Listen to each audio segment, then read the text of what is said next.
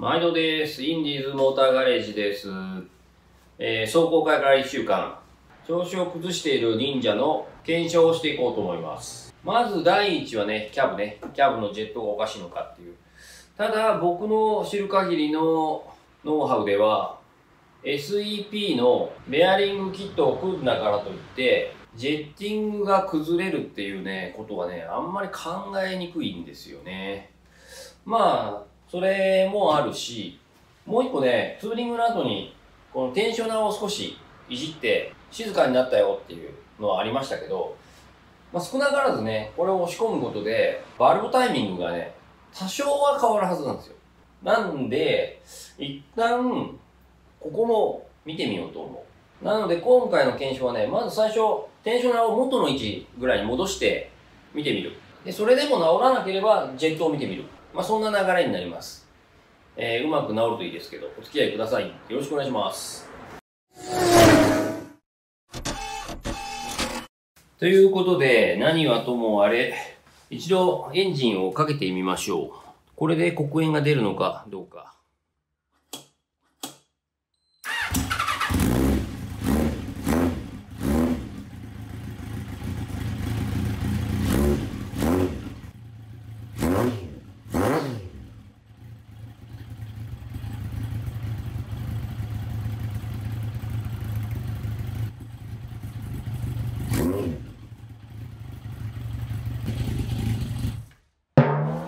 あれ黒煙出んぞ。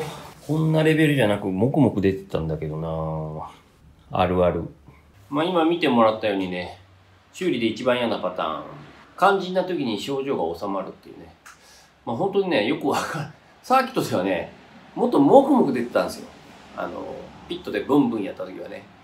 だからまあ今回初めにちょっとふわんと出たぐらいな感じで、よくわかんないんで、もう経過観測ということで、今後のね、走った時にどうなるのかとか、次かけた時どうなるのかっていうのを見ていくしか方法がなくなってしまいました。ということで、ストリート仕様に戻していきます。今ね、えーサーキット仕様からストリート仕様に戻してるんですけど、これ、これナンバープレートの台座ね。これがね、今ここ見ると、ひびがまあ、取れるようなひびじゃないんだけど、走ってるとね、後ろからプルプルしてるよっていうのをたまに言われるんで、今日はね、もうついでに、この不具合を修正していこうかなと。FRP 補修キットっていうのかな ?FRP。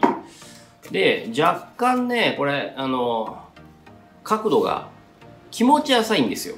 もちろんね、ベーンって跳ね上げるつもりはないんだけど、若干跳ね上げたいんで、まあ、ちょっと跳ね上げたとこで固めちゃおうかなと。ちょっとこれに関してはそういう感じで。で、FRP の補修するってことで、これ、アンダーカウルね。ここがね、取り付け、いつもあの、タイラップで止めてんだけど、スタンドがね、ガコンって引っかかってバキーって、ひび入っちゃったんですよね。で、これもともと、9R かなんかのやつを、切った貼ったでこの形になってるんで、ちょうどこの継ぎ合わせてたところがバコッと剥げて、裏はね、ひっついたまんまなんだけど、表が剥げてるって感じなんで、まあ、ここをね、表面削って、まあ、表側からちょっと補強で FRP 貼っちゃおうかなと。まあ、サーキットの時しかね、これ僕使ってないんで、それでいいんじゃねえかなということで、ちょっとこれも同時に修理していこうと思います。まずは、このね、足付けというのかな？のちょっと汚れと面を荒らして隙を良くするっていうことでサンドペーパーとかで普通はやるんだけどめんどくさいんでもうベルトサンダーで軽くいっちゃいます。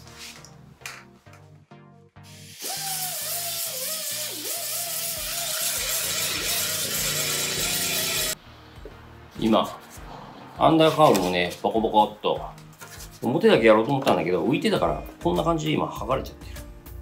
だからここねバキバキって切っちゃって裏からしっかり補強しようと思います。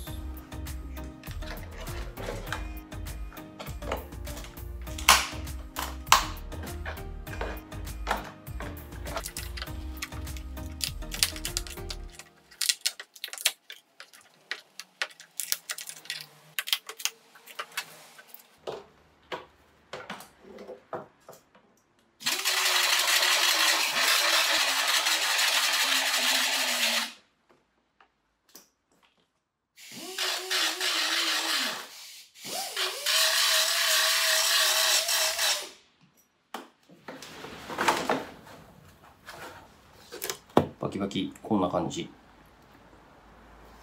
こっちはもうまあまあひどいというか、範囲が広いんで、えー、2段階ぐらいでやっていこうかなと。まずここ止めといて、下側止めて、固めてから上を固めると。本当はね、1回でやりたいんですけど、だいたいちょんぼするとその辺はミスるんで、こんな感じでやっていきます。えー、っと、よいしょ。出しもしてね、この辺の。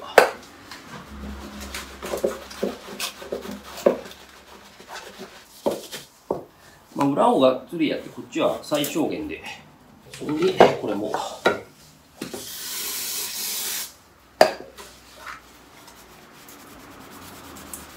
で、この辺のシートをちょっと厳選して形に切って準備します。まあ、切り出したグラスね。ここはまず2枚重ねて、こっちも下側をまず2枚重ねて、クロスは最後に2回目の時にベッて貼ろうと思ってるんで、それでやっていきます。で、これ、硬化剤。で、樹脂。で、混ぜるときは、僕は割り箸を使います。まあ、後で捨てればいいんでね。で、これを 50cc に対して、硬化剤4、5滴って書いてあるんで、それでやってみようと思います。ただこの硬化剤がね、若干古いんで、うまくいくのかどうかはちょっと怪しい。よかった。これあるあるなんだけどね、古い硬化剤使ってたら、一応、まだ塗る前にね、試してみたんだけど、全然固まってない。よかった。これね、こういうの状態で FRP やっちゃうともう後処理が超めんどくさいんで、一旦試して古いやつはやった方がいいね。ということで、新しい、買ってきました。さあ、気を取り直してやっていきましょう。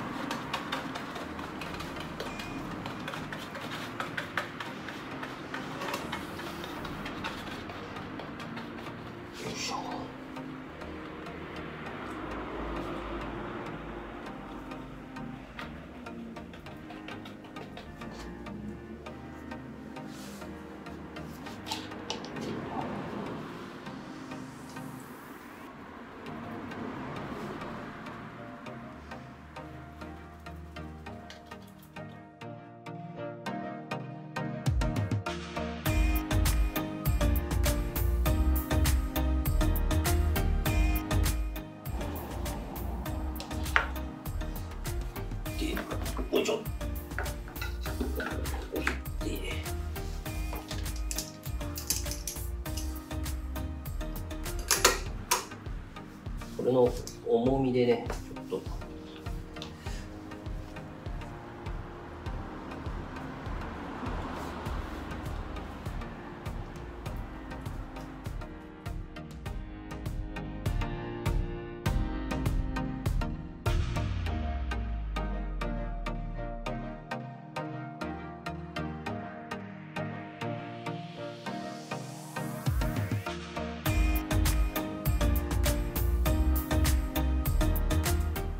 固まり待ち。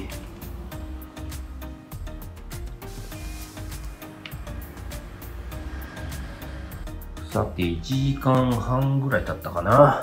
もうこれ固まってなかったらもう頼みますわって感じだけど。微妙。だけど固まらん感じでもない。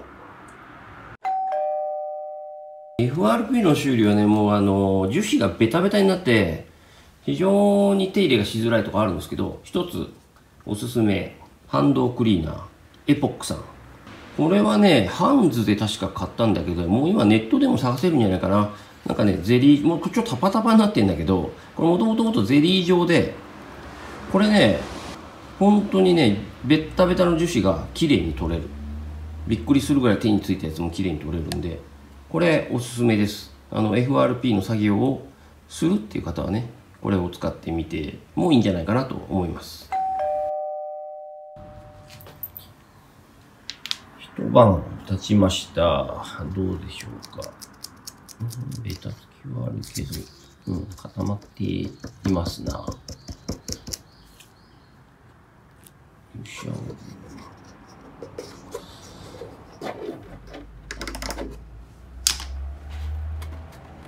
うん。ついちょる、ひっついちょる。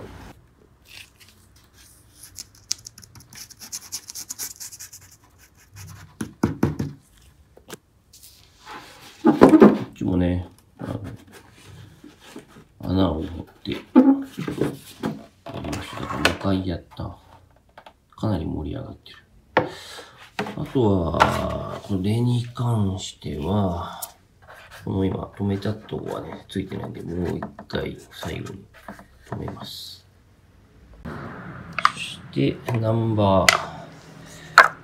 昨日の夜ね、もうワンプライかけました、もう。ガッチガチにするために。もう、歪みもしない。完璧についてますね。あとはこれは、端を切って調整すれば OK。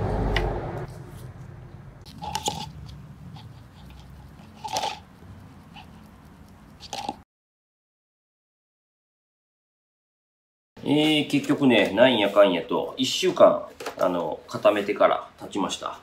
もうね、カッチカチです。かなりカチカチ。こっちも、カッチカチです。なんでもう今日は、このヘリの部分をカットして、削っていこうかな。で、結果、古いね、樹脂、捨てるために、固めたんですけど、結局固まった。ただ若干固まりが遅かっただけみたいで、まあ無駄には終わったんだけど、失敗した時のことを考えるとね、まあしょうがないかなということでやってきます。エアソーでね、今ここ切りました。切ったんだけど、この隙間がなんとなくついてない。樹脂が埋まってない。まあでも、ガチガチにはなってるからいいかな。このブラインダーで削っていきます。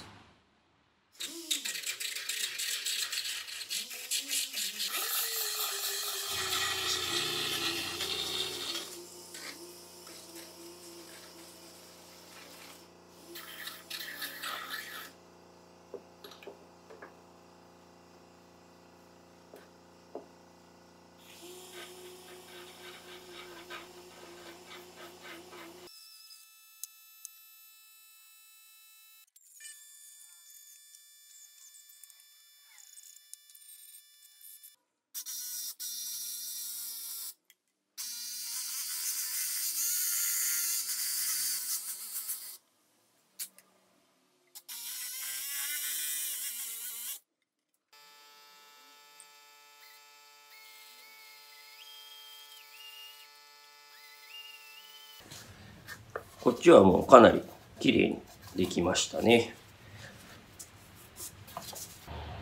アンダーカールはもうかなりモリモリに持ってるんで、ここら辺はもう8ミリぐらいあるんじゃないかな。ということでね、ここ、こっちはもう手作業で削っていきます。まあフラットには絶対ならないんだけど、まあちょっと鳴らす感じで削ってみようかな。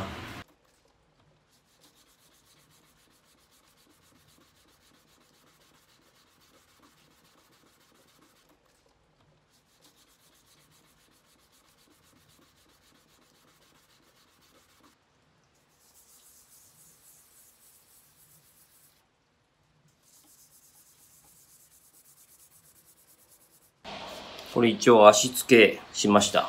この部分、微妙にひびがあるんでね、この薄付けパテ、これを塗る前に入れとこうかなと思います。このパテね、硬化剤がいらないんだけど、相当薄くないと固まらない。なんで深い傷とかはね、無理。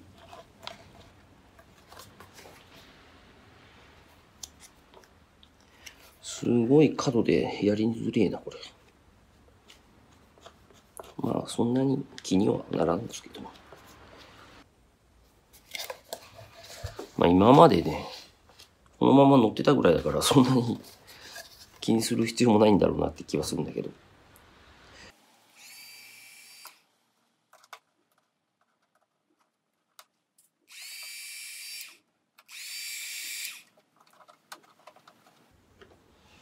切り文字ステッカー、ものすげえめんどくさい。薄付けパテ固まりました。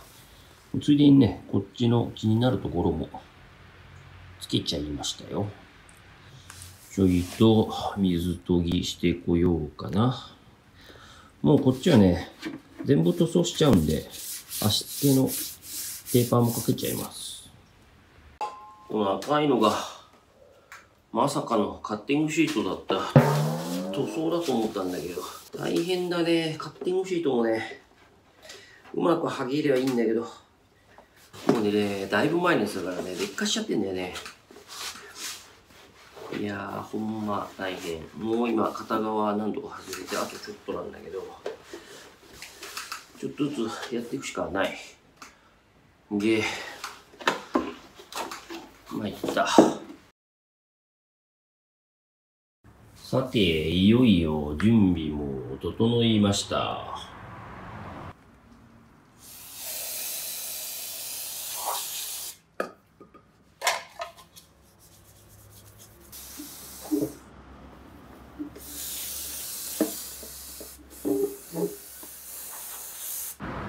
今回はこの安物のラッカースプレーで塗っていこうと思います。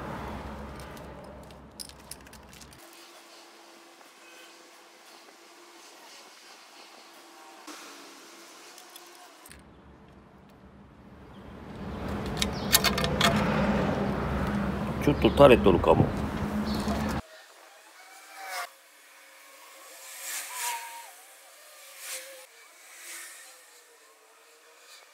塗装したらね意外にひびが効いてなくて再度埋めましたここほとんどナンバーで隠れちゃうんだけどねアンダーカウルもねまあそんなに綺麗にしようとは思ってないんだけど、ちょっと気になったところはもうついでにパテ埋めしました。また削りです。塗装はほぼほぼ完了しました。ということで、あとは装着のみ。ここで前回より1週間後、いっぺんエンジンかけてみようかな。黒煙が出るのかどうか。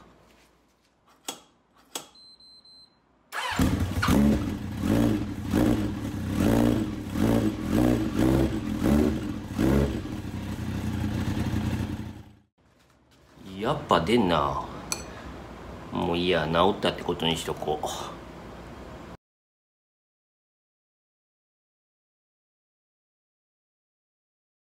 つきました。一応。つける位置はね細かく調整しないといけないけどサイドスタンドは。当たらない。今回ね黒煙チェックから突然 FRP の修正っていう企画にね、変わっちゃったんですけど、あのー、まあ、めんどくさいながらも、なかなかね、やろうやろうと思ったけどできなくて、まあ、ちょうど割れたってことでね、修正してみました。ナンバープレートも、これもずっとやろうと思ってたんですけど、まあ、ついでということでね、FRP の作業はね、もう本当にね、めんどくさくて、なかなかね、やる気が起きないんですけど、まあ、こういったついでがあれば、まとめてやるかという感じで作業をしました。まあ、こういう作業でね、まあ一番大事なのはね、焦らないってことね。もう今回もこれをやり始めて、もちろん平日の仕事を除いて、合計で4日かかってます。まあでも、その回あって、まあそれっぽく治ってはいます。まあもともとボコボコなんですごい綺麗ではないですけど、あのレースの時しかね、つけないんで、まあいいかなという、なんとなく中途半端な感じではありますけど、ということで、今回はちまちまと FRP の修正をお送りしました。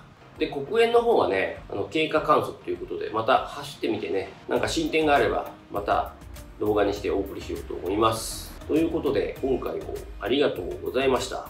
次回もよろしくお願いします。